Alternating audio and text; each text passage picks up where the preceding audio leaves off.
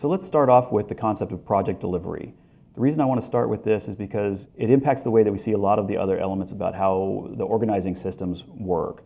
So once we start talking about project delivery, meaning how does a uh, building actually come into existence through what kinds of contracts, uh, what are the relationships through everybody, the project delivery sort of covers all those, those kinds of topics. So let's sort of run through a couple different possibilities. Uh, the first sort of most standard way of thinking about project delivery is design, bid, build. So this is how, when you think of a kind of classic standard, you know, this is the way that people imagine what an architectural and construction project, uh, how it's organized. And in that context, uh, there's an owner, there's an architect, and there's a contractor. And there's this sort of triumvirate of relationships. And each one of them plays their role and they all oversee each other and there's sort of, uh, it's a very sort of clear set of relationships. Uh, there's some big advantages to design bid build and there's some pretty significant disadvantages to it. So before we get too deep into the advantages and disadvantages of design bid build let's review a couple of the other possibilities. Another one is design build. So design build is where there's just uh, uh a single entity uh, where there's one owner and then there's the design builder. And that design builder is the architect and the contractor. So there's only one set of relationships. Construction manager is where there's, uh, and say, an architect, an owner, and then a CM. But that CM, construction manager, is actually sort of on the ownership team. So let's think about some of the advantages and disadvantages of these three different project delivery methods. It's something like design, bid, build. If you kind of think it out, how this works, it's pretty straightforward. The architect is given a contract to design a building. That building design goes on for X number of months. That process goes through schematic design, design development, uh, contract documents, bidding, and then construction administration. Uh, so in that process, before we get to the bidding, all of the design work has happened uh, up to that point.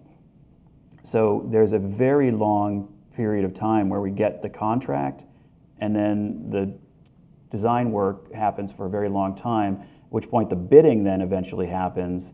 So that's the bid point, and the contractor is chosen, and then the whole contract uh, is built out and the building is finished. So while there's certain advantages to this, one of the disadvantages is this takes a very long time because there's no overlap. Everything happens sequentially, and that process just takes a very um, that process just takes a long time. One of the key advantages to design bid build is that because I'm bidding it out and I have a full set of drawings and a full set of understanding because we've gone through the entire process of, uh, of designing that whole time. So this whole thing, we've figured everything out, presumably. Uh, that means that by the time we get to this bidding moment, we actually have a pretty good set of drawings. And when we get the bids, those bids are apples to apples bids, and we can very clearly see which one is the low bid. We can also see which one's the high bid. We can see which ones seem to have other pieces of information that are they're supplying to us because everything is sort of easily relatable to each other. So the advantage of design bid build is really that you know the low. You know the low bid, you, you have much more information about it. Uh, but it takes that very long, long time. So similarly, let's talk about design build. So the big advantage of design build is that it's one phone call. And what do I mean by that? What I mean is that if you're the owner and something goes wrong and in a typical design bid build situation, there's always the danger that something like uh, there's a difference of opinion between the architect and the contractor, and so the contractors say, well, hey, it's not our fault, it's not right in the drawings, and then the architects say, no, no, no, the drawings are fine, it's really the contractor's fault, and that kind of situation really drives the owners crazy because, you know, how do they know? What do they? How do they figure out which is the correct way? So the advantage of design build is that one phone call. Anything goes wrong, it doesn't matter to the owner. It's one phone call to get something figured out. And it's just in the entity of the design builder to figure out where the, where the problem lies. So there's some huge advantages to that. Uh, another advantage is that it's uh, potentially a shorter timeline. There's a design period that's going to happen, but that design period is likely to be overlapped with some of the uh, uh, process of uh, building. So while the design is happening, some of the building can actually start taking place because it's all one entity. So they can be ordering materials, they can be moving forward in terms of getting ready on the site. There's all kinds of different things. Uh, obviously, they still have to get permits and everything, so certain things are, are in the same sort of process. But there's a lot of stuff that can happen uh, overlapped and therefore condense the time. It's another big advantage of design build. One of the problems with design build is that it lacks some transparency. It lacks a little bit of the oversight that's built into the design bid build concept. Right? With the design bid build, you had that situation where, you know, if the contractor is starting to charge too much for something, well, then the architect and the owner have the ability to sort of talk it through and figure out and make sure that, that they can control that situation. If the architect is designing something that's too crazy, it's not appropriate for the owner, well, then the owner and the contractor have some ability to sort of oversee that process and, and have some commentary back. And if the owner is being onerous and ridiculous and not paying their bills or you know something along those lines, well then the architect and the contractor have the ability to sort of help each other out and kind of manage that process.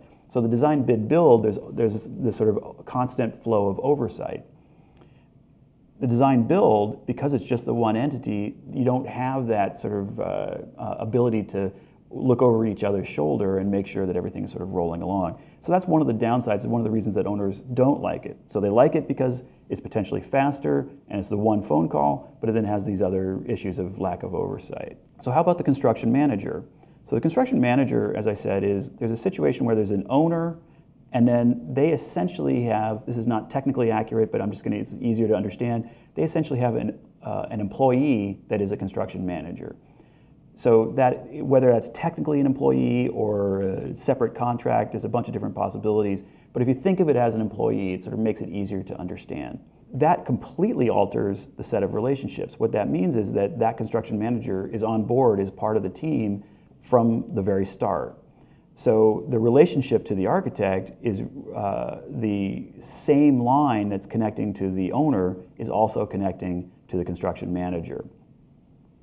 Now, there's a bunch of very significant advantages to this. One is that while the design part is starting, the construction manager can start having input at various key points along the way in order to make sure that the drawings are representing something that can be priced effectively in order to make sure the owner's desires are being sort of clearly understood. So there's a great deal of opportunity for the owner to have impact on to the design process, uh, as well as to have a real strong control over the cost implications of the design. The uh, building then starts out uh, once that's all done, and that process then is set up where instead of hiring a separate GC, the construction manager hires their own subs. And that way, the overhead and profit that would normally go to a GC stays in house for the owner. Now, that's a huge advantage if you're an owner. You start looking around, you're looking at the spreadsheets, and you see all the prices lined up, and then down at the bottom there's something that says overhead and profit for the GC. And that just drives owners crazy because they're like, oh, why do I have to pay all this extra money? Uh, so how can I get that for myself? Well, I can do that by having a construction manager. But then the problem, of course, is the reason there's overhead and profit built in is because there's actually a fair amount of risk involved. And so the owner, when they take on the construction manager role, uh, are also taking on the risk. So we'll talk a little bit more about that later. But the idea there is there's, you get to know more information about the uh, cost of the construction, earlier on. It's more of a team mentality. So instead of the adversarial aspect of bidding, everybody's on one team. So there's a bunch of advantages to construction managers and there's a few disadvantages. That risk reward aspect can be a big drawback if things go bad.